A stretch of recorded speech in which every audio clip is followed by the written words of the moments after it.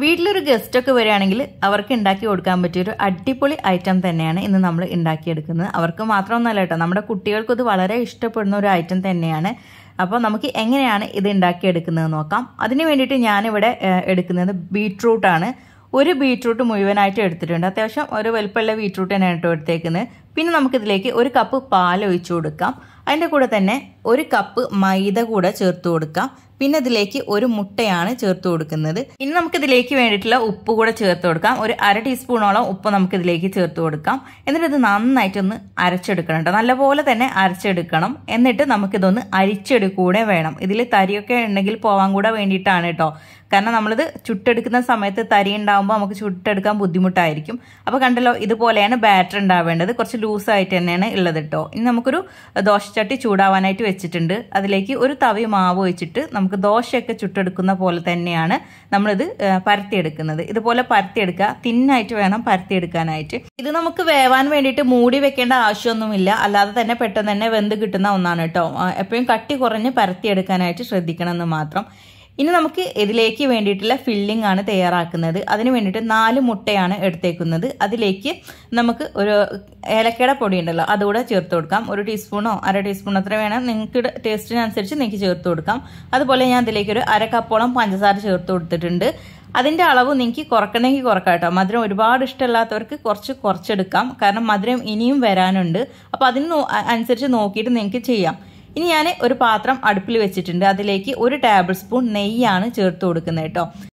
ഈ നെയ്യിലേക്ക് നമ്മൾ മുട്ട ചേർക്കുന്നതിന്റെ മുൻപായിട്ട് വേണം കാഷ്യൂനട്ടും റൈസിൻസും ഒക്കെ ചേർത്ത് കൊടുക്കാനായിട്ട്. അപ്പൊ ഞാൻ അത് മറന്നു പോയിട്ടുണ്ടായിരുന്നു കേട്ടോ അപ്പോൾ ആ സമയത്ത് എനിക്ക് പിന്നെ അത് വീണ്ടും ചെയ്യേണ്ടി വന്നു. അപ്പൊ ഞാൻ ഇവിടെ മുട്ട ഒന്ന് സ്ക്രാമ്പിൾ ചെയ്ത് പകുതിയാക്കി വെച്ചു. അതായത് കംപ്ലീറ്റ് കുക്കാകാണ്ട് വെച്ചിട്ട് ആ സമയത്താണ് എനിക്ക് ഓർമ്മ വന്ന്. അപ്പൊ ഞാൻ ഒരു ടീസ്പൂൺ കൂടെ നെയ്യ് ഒഴിച്ചിട്ട് അതിലേക്ക് കാഷ്യൂനട്ടും റൈസിൻസും ബദാമും കൂടെ ചേർത്തിട്ടാണ് വറുത്തെടുക്കുന്നത് കേട്ടോ ഇതിന്റെയൊക്കെ അളവ് ശരിക്കും നമുക്ക് നമ്മുടെ ഇഷ്ടത്തിനനുസരിച്ച് നമുക്ക് കൂട്ടിയും കുറക്കുകയൊക്കെ ചെയ്യാം. അതിന് പ്രത്യേകിച്ച് ഒരു അളവൊന്നുമില്ല കേട്ടോ. അപ്പൊ ഇതൊന്ന് നന്നായി വറുത്ത് നമുക്ക് നേരത്തെ നമ്മൾ റെഡിയാക്കി വെച്ചിട്ടുണ്ടായിരുന്ന ആ ഒരു മുട്ടയുടെ മിക്സ് ഉണ്ടല്ലോ. അതിലേക്ക് ഒഴിച്ച് കൊടുത്തതിന് ശേഷം വീണ്ടും അതൊന്ന് നമ്മളൊന്ന് സ്ക്രാമ്പിൾ ചെയ്ത് എടുക്കുകയാണ് ചെയ്യുന്നത് കേട്ടോ. അപ്പോൾ ഞാൻ ഇതിവിടെ പകുതിയായിട്ട് വേവിച്ച് വെച്ചിട്ടുണ്ടായിരുന്നു. അതിലേക്ക് ഞാൻ ഇത് ഇട്ടിട്ട് ഒന്നുകൂടെ മിക്സ് ചെയ്ത് കൊടുത്തു. അപ്പോൾ നമ്മൾ മുട്ട ചേർക്കുന്നതിന് മുൻപ് ഇതങ്ങ് വറുത്തെടുത്താൽ മതി. എന്നിട്ട് അതിന്റെ മുകളിലേക്ക് മുട്ട വെച്ചാൽ ഈ ഒരു ഇത് ബുദ്ധിമുട്ട് ഒഴിവായി കിട്ടും കേട്ടോ.